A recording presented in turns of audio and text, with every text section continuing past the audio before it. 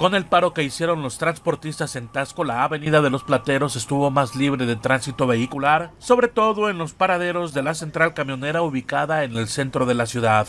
Sin embargo, con el regreso paulatino del servicio, este tramo volvió a convertirse en uno de los más conflictivos para el flujo de los automóviles, como sucede cada fin de semana con la instalación del Tianguis Sabatino de Plata.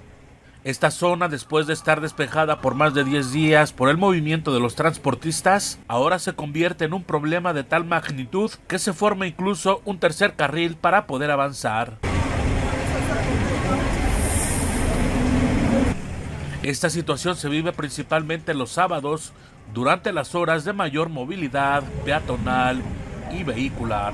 RTG Noticias, Raimundo Ruiz.